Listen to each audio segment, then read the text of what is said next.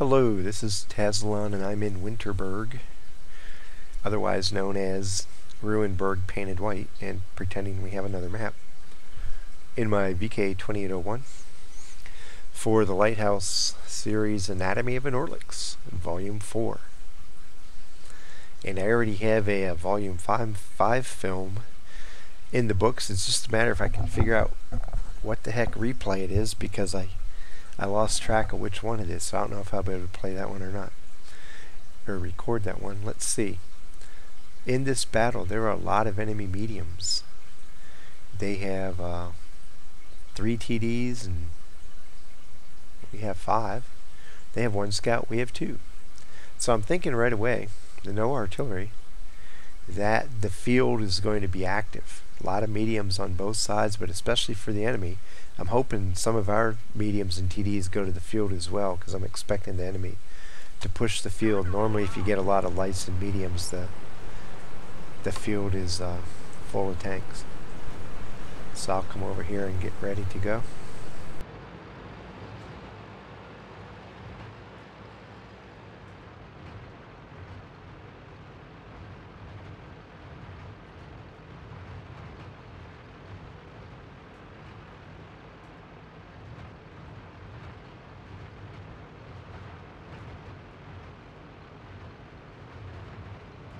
There are some changes in Winterberg because the, the bushes tend to be more sparse on winter maps.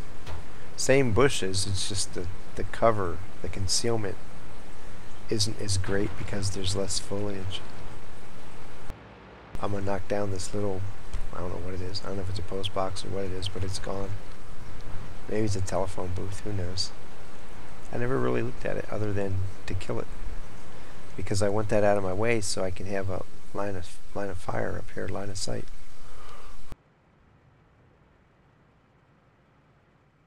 Have a medium and two TDs coming with me, and the Panther 2's back in the back row. It's important. Um, the significance of it being staying way back there is it can support us if the enemy crosses over the midfield or if they pull up onto that little ridge that runs down the road but if we go over on their side of the map, we're going to lose the support of two of our TDs. So it's really in our interest to let them come to us right now.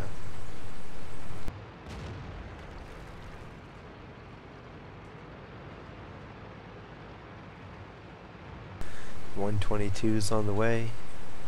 T44 is on the way. They've already crossed midfield. There's the CDC. So they're pushing on the field side, which is what I thought they would do. Going to see if I can get back across the road now because it seems like everybody's concentrated over on that side. It's a mistake to pull up and try to shoot down the center road at them because there's going to be more tanks back in here and if you pull out to here to try to shoot this way you're just going to get in a crossfire you're going to die most of the time.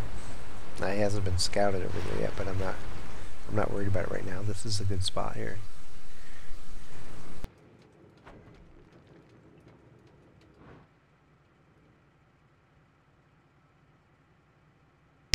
I'll try to have a shot set and just fire when he goes and I shoot high. I needed to aim down lower.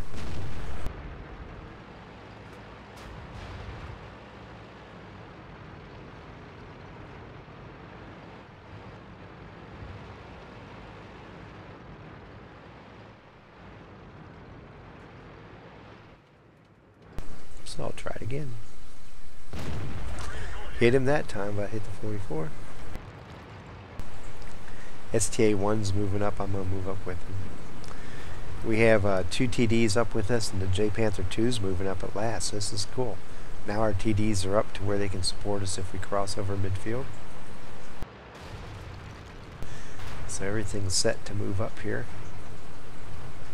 Any remaining enemy have uh, backed out of the field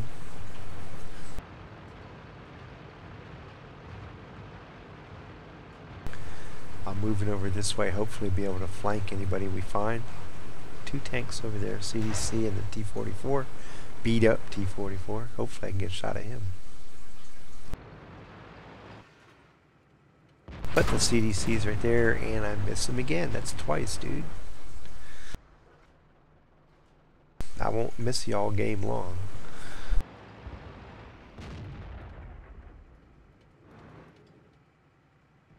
He's down to 433 hit points. I can do that on one shot with HE if I hit him, like right now.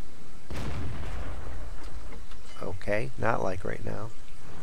But the thought was there.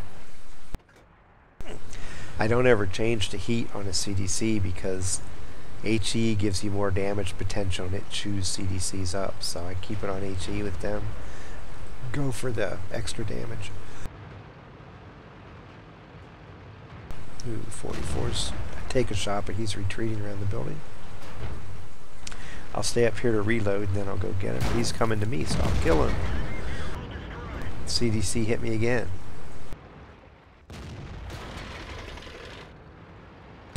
He hits me one more time, I'm dead, so.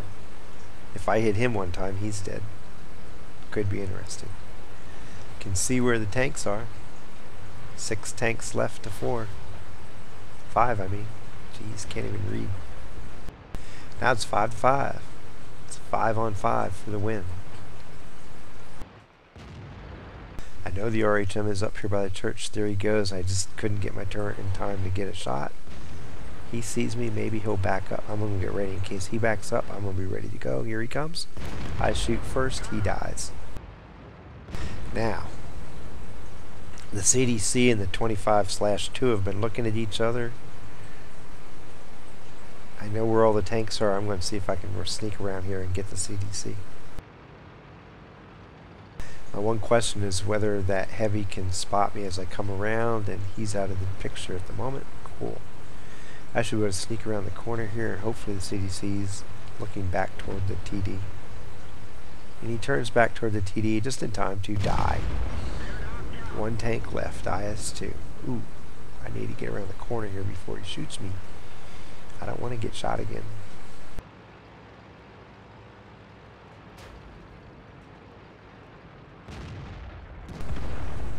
And he's dead. So. some totally non-remarkable stats for the battle, except for the fact that I got Orliks. 1,134 XP, no spots, no spotting damage. 579 damage with 3 kills. They were all tier 8s. As I said, I don't I don't go into battles thinking, um, cool, I can go for Orliks today, or I can get a Pascucci, or I can get this, or I can get that. I go into battles thinking about the enemy tanks, my tanks, where I need to go to give my team an advantage or to help my team out. And if um, medals happen along the way, they happen. Now, as I start playing, yeah, there may be some battles where it's like, in this battle I didn't. I didn't know I had an Orliks until I got done. There may be some battles where I'm looking at the tanks I've shot. It's like, man, I have a tier 8 and a tier 9 if I can I want to get an Orliks but it doesn't impact how I play. It's just like I recognize the factor. If I kill two arty, if I know if I get another one, I get a Pascucci or something, or at the end of the battle, it's like, man, if I ram this guy and get the win, I get a Top Gun too, but I never do it at the start of the battle.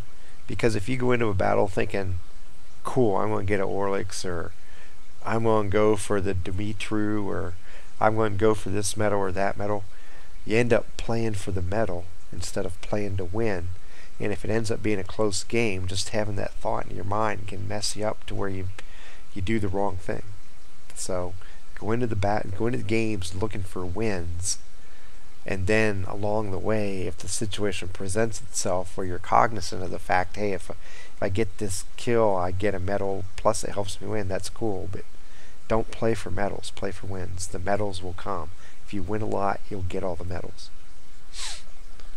and, and in this case you saw it's like in the beginning there's a TD back here a TD back here they can only shoot effectively up, up to here so if we try to push what are we doing we're taking our two TDs out of the equation and if they have anybody back here we're putting them into the equation which gives them a huge advantage so what we do is you just set up defensively let them move across the lines to where your TDs get to fire at them. Then when you beat them up, either you kill them or they retreat. Hopefully, and these guys did, they played this smart. They moved up when they realized that it was time to move up. and we were able to push over, overwhelm the field, and come down here and finish off the battle. You got to play within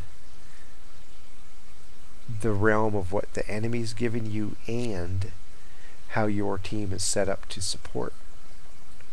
If the TDs would have pushed right from the beginning, we probably could have been more aggressive and won. But if we would have pushed from the beginning, this game, with the way our TDs were set up, we would have lost the field, and who knows what would have gone on in the battle. So be aware of where everybody is and what it means to you. And final thought once again, don't go into battles seeking medals. Go into battles seeking wins, and the medals will come if you play well. From Winterberg, getting Orliks in my VK2801 Orliks machine. Happy hunting.